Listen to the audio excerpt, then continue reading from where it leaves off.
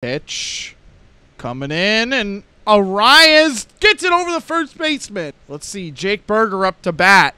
Arraez puts two into scoring position. Can Jake Burger hit him home? Oh! A bomb into right field. Wow. The following content may be too entertaining. Viewer discretion advised.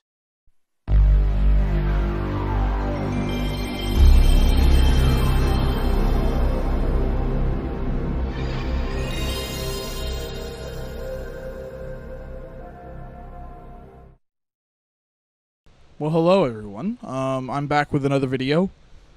Uh, it's been a minute. Um, today I'm here on MLB The Show 24. Ignore my face cam. There was audio issues. It's not going to sync up. Um, I might just blur it out because I understand that pisses people off. It pisses me off.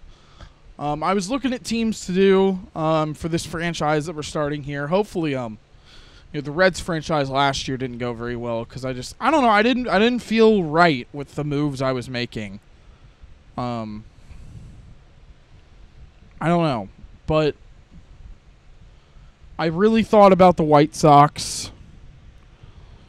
Um, thought about the Guardians, but I felt like they had too much. Tigers were probably the closest team I was to actually picking, besides, of course, the Miami Marlins, who I ended up doing. Um, so yeah, our team is the Miami Marlins.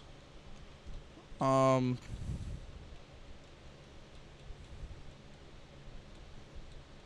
I don't know. There, there's one thing in this that I've done that I don't feel like people might agree with, but I, I'm getting ahead of myself. Um, I don't know. I was, I, I guess I was just describing teams that I could have done. Um, I'll see you guys when we're looking at the squads. So here we are. Um, Tanner Scott and Eury Perez, two great pitchers that serve two completely different roles. Eury Perez, I didn't realize he was this good. 20 years old, 89 overall, a potential. Um, Eury Perez is going to be uh, is going to be Cy Young contender for this entire rebuild. Um, that's always going to be a nice thing to have. Sandy Alcantara hopefully can be just good again. He's really bad last year. I believe he was injured a lot last year though um, playing, trying to play through injury and stuff like that.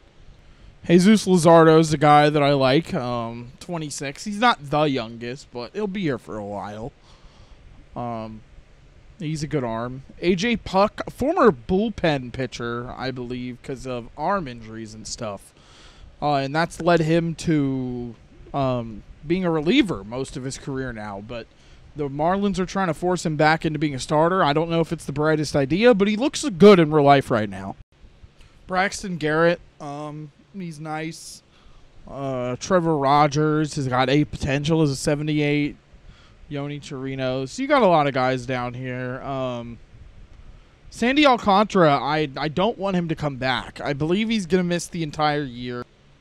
Okay, so now I have set the injury on him. There, you see right there, Sandy Alcantara. Uh, he should be out for the entire year. If not, I can just extend the injury time uh, once he gets closer to being coming back. Uh, that's how the uh, lineup looks, or sorry, lineup rotation.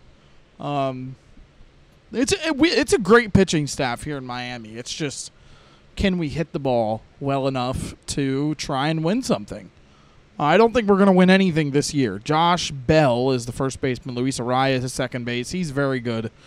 Um, this is where I make the controversial decision to bring in another piece. And that other piece is going to be Jonathan India. Um, Jonathan India is on a surplus uh, Reds infield. Um, a lot of people think he's going to DH there. I don't think he is. Um, they got a lot of outfielders to play too. Um, I feel like he just doesn't fit with our team anymore in Cincinnati. I am a Cincinnati Reds fan. That's why I say that. um, Jonathan India, um, of course, like I just said, doesn't fit. So we decide that we're going to make a trade for him. And the trade we ended up going up with was two prospects who, although I've never heard of, I'm sure that they are loved by the Miami Marlins system. Um, two prospects who probably were never going to become stars, but you know, I mean, Jonathan India isn't a star either. So I mean, he's not like it's not like he's like an 80. This isn't rookie year Jonathan India we're talking about here. This is this is Jonathan India coming off an injury, probably gonna be a maybe above average uh, above average bat with bad defense. You know, that's what Jonathan India is gonna give me. So I don't think it's too crazy of a trade. So here I am looking at the lineup. Um, it seems like everything is as I want it versus lefties. So we're playing today, I believe, if I remember correctly, is a lefty. So, oh, well, I forgot I did that. Yeah, somehow I simmed rather than playing. I don't know what I was doing. So this is technically not opening day. This is the second game, and it's already almost over. So Jake Burgers steps up to the plate. You're down by one, one person on. I believe that is. I don't know who that is. Actually, I have no clue. The pitch, and it is swung on and hit into left field by Jake Burger. I don't know if he's related to Elly, but that's a bloop, and it does go. And we are not going to send him home. I could have. I probably should have in that situation. No, I'm going to bunt. I bunt a runner in, and Fortes couldn't leg it. Deletes the chance of a double play. We're going to tag up. Oh, yeah, I do remember this. The throw was offline, and we won. If that throw was online, that would have been really bad, and that would have been the end of the inning. Um, but we won, and that was technically not opening day. And welcome everyone to opening day in quotation marks. This is technically our third game of the year, but we're going to act like this is opening day. Jared Triolo up, AJ Puk on the mound here for opening day. I think that's how I'm going to say it. Opening day.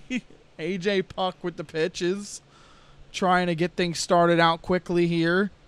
We'll show you the full first at bat. Uh, probably show you the full first inning, but I usually don't show full at bats. But there, AJ Puk gets him down. AJ Puk.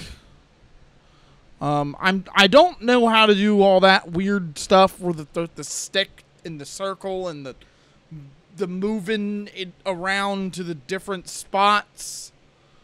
Um, yeah, I, I don't. I, I'm not. I'm not good enough for that. All that. Double play ends the inning. Team's opening game has ever been on a Saturday. That one rocketed past the pitcher and past the second baseman. Tim Anderson gets on just like that. Martin Perez, the pitcher today, the lefty wheeling and dealing up there. Jonathan India batting second, and that's going to be a double play. Turn on to first. And that one's belted into the outfield, but it's going to be caught easily for the out. Full count for Puk. And he's going to walk him. I think he could have caught it if he would have tried a little harder. De La Cruz, though, ranging over to that one, going to get it. The throw into first. Josh Bell fields it, holding the runner back at first. Two outs. AJ Puk trying to get his third. That one's going right by uh, Tim Anderson. I don't know what he was doing. And Jazz Chisholm can't grab the ball. Maybe he was trying to get him to run even. Maybe he was trying to fake him out a little bit, but that's not going to be good. Pitch hit deep to Victor Mesa, who's going to get underneath it and end the inning. Scoreless inning for Pittsburgh, leaving, I believe, two on. Pretty sure there's a Victor Victor Mesa Jr. as well. Jake Burger hits one right at the third base line for his first hit of the day. Jake Burger. What a weird name. Jake Burger looking good in the red and white. Now up to bat. De La Cruz hits one, and it's bobbled a little bit. They get the play at two, but not the play at one. I think if Burger was a little faster, he could have legged both. But instead, here we go, and that one's hit hard by Fortes. Does it drop? It does. That might be a score. Nick Fortes with an RBI double is a RBI double, and that one Josh Bell lines right at the first baseman. And Jazz Chisholm now. And he does the same, lines him right at the first baseman to end the inning. One out here after Henry Davis popped out. Can we get another th- quick third out here? Swing and a miss by McCutchen. And that one lined up. That's his second hit on the day, Andrew McCutchen. As he gets one in there on Bryan Reynolds. And Bryan Reynolds pops one, but Victor Mesa gonna fly on over to that one. Victor Mesa Jr. makes the play. Now up to bat, Victor Mesa. Look at him out there again. Batting 333 to start the game, start the year, and what was I swinging at? Um, that's just my fair assessment. Tim Anderson, and that one does have a chance to be fair, and it is fair. Tim Anderson gets on base. And now Jonathan India going to try and size up this pitch. And that's going to be a possible double play. No, they don't get Indy at first. Did they get Anderson at second?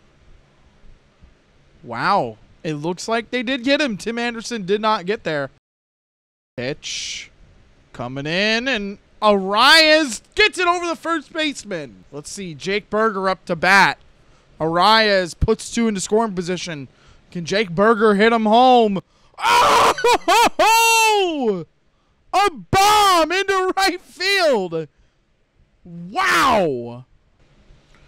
Jake Burger, 398, 105 off the bat. That was a scorcher. Two outs for De La Cruz. Not expecting him to do much. Jake Burger already made the inning.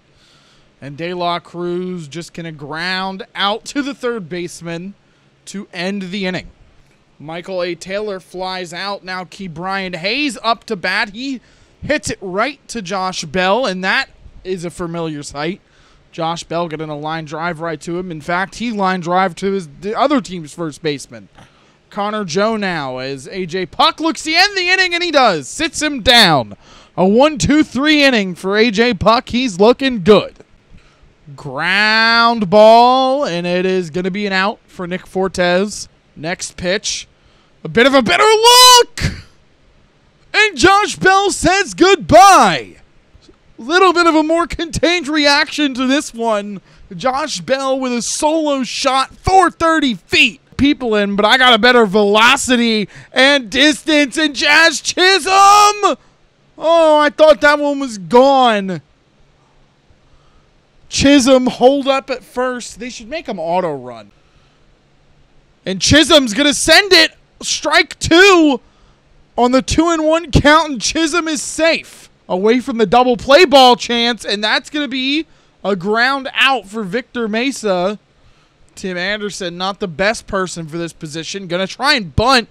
Just doesn't get it where I want it. I've had it work a lot of times. It's just when it doesn't work, it's kind of depressing. But with a master class here, Never mind. No, I'm kidding. That's it's another hit, but Henry Davis now up to bat. He's gonna swing through it, and that's gonna be a strikeout. Thought the runner was going for a second. I guess I I didn't actually think the runner was going.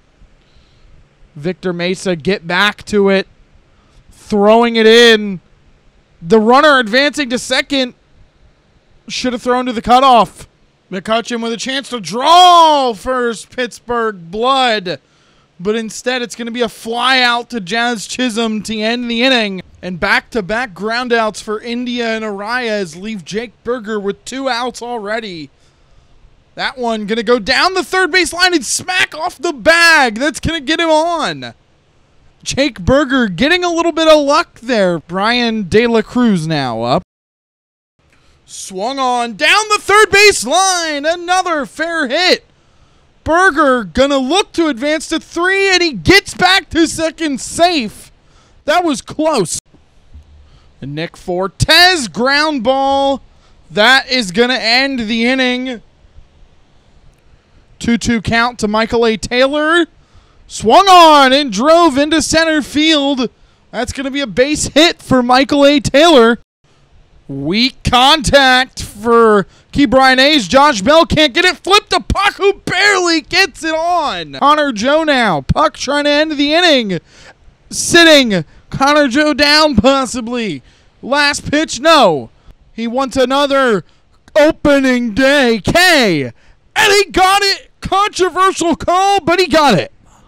Josh Bell fly out leads Jazz Chisholm up here in the sixth. Chisholm, bam!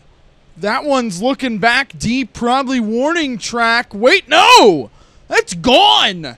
I did not think that was a home run as he Euro steps into the home plate area. Jazz Chisholm Jr. Anderson fly ball as it looks like him and Victor Mesa Jr. fly out to end the inning. Rowdy Tellez after one out up to bat, and that one's hit past Victor Mesa. Chisholm trying to run over to it, and Rowdy Tellez gets a stand up double, maybe even a triple. No, they got him. What a play!